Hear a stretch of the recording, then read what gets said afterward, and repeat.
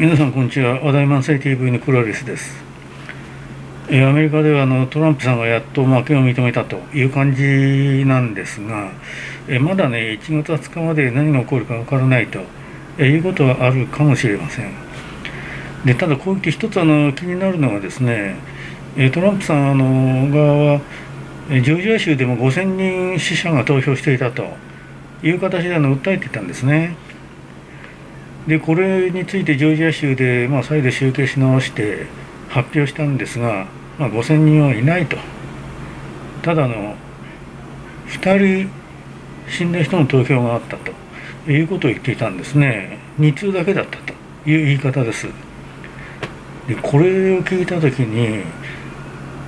まあ、2通だけだったのかどうかちょっと分かりませんけど2通は確かにあったんだなとこれあの死んであの投票した人がそれから死んでしまったということじゃなくて明らかにすでに死んでいた人が投票していたというケースですね。えということはねこの2通は非常に重い意味があって実はもっといろんな不正が実は大規模であったんじゃないのかと。いうことはやっぱりあの抱かせるわけですねそういう疑念をただ今はこの疑惑だけです、えー、これの証拠についてはもう今のところはもうないと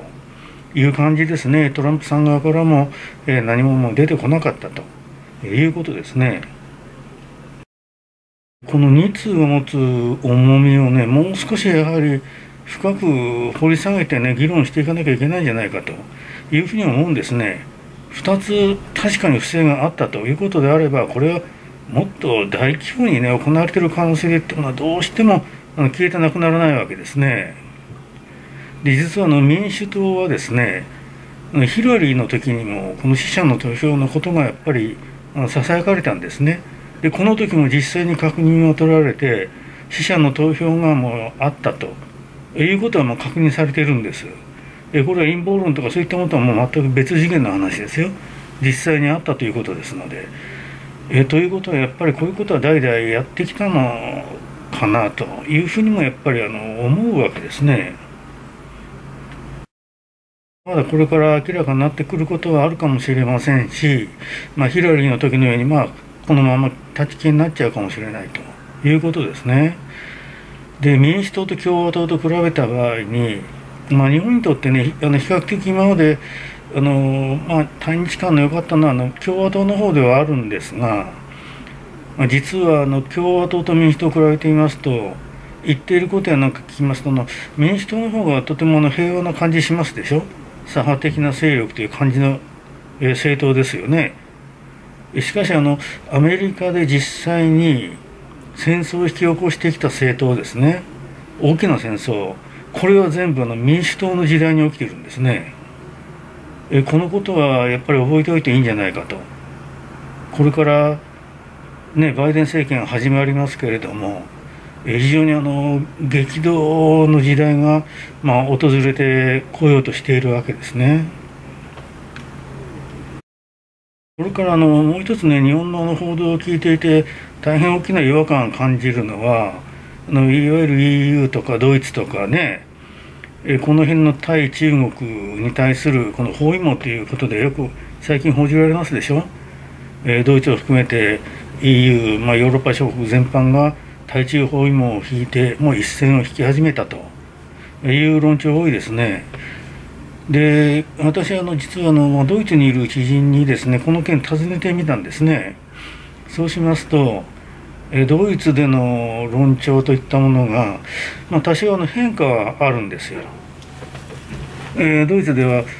あのメディアがですね過去非常に中国寄りでね日本中国といろいろ対立している時に日本は中国の一周分の大きさしかないと 要するにまあ非常に中国はでかい国だけど日本はちっちゃな国だと。いうなんか嘲笑うような論調結構あったんですねドイツでは。でそれは今鳴りを潜めて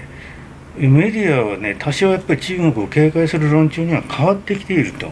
いうことは言っていたんですね。これはもう事実です。ところがこのメルケルさんおいメルケル政権はどうかと言えばこれも全く別の話なんですね。であの日本の、ね、メディアの論調は、まあ、メルケルさんも中国に厳しくなってきたというような感じで言ってますでしょ。ところがこれはもう全然違うと。全然違うんですね実際。メルケルの言ってること聞けばこれははっきり分かりますけども、まあ、メルケル氏はずっと、まあ、中国の経済ね中国で経済で儲けると。あのまあ経済を重視するといえば聞こえはいいんですが要するに中国を利用して儲けると。えそのために中国に脅迫されているこのアジア諸国えこんなものはもうどうでもいいと。こういう形なんですね。実際メルケルからアジアの危機についてですね、えー、いろんなあの懸念の声といったものを聞いたことないでしょ。最近ちょこっとこの香港情勢でね言うことはありますよ。それはあの大したもんじゃないです。実はあのメルケルの、えー、対中国に対する方針はやっぱりもう変わっていないんですね、えー、中国に対しては言うべきことは言わないでえ経済をもう優先させると。えこれは今後も変わってきていない。だからメルケルを批判するえドイツのメディアがたくさん今出てきたと。えいうことですね。でえ中国あの中国はドイツを相当もドイツに浸透してますのであの基幹産業とかですねドイツ有数のハイテク企業あこれも何年後かにはもう中国のものになってしまうんですね。